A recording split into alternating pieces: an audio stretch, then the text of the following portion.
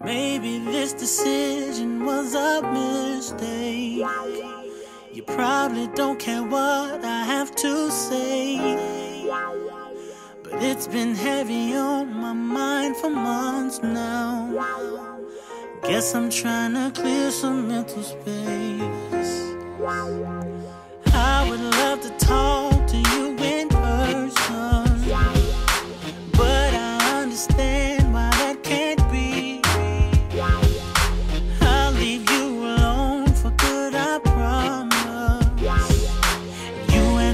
This one question for me. I just wonder,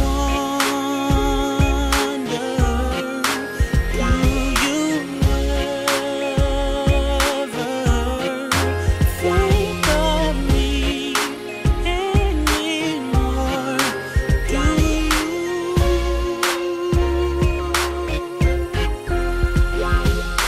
First off, let me say congratulations that you just had a baby girl.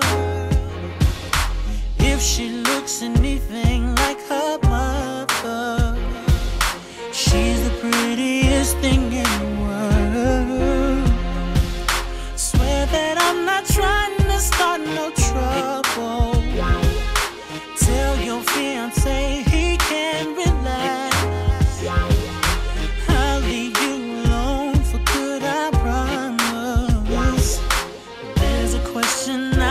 got to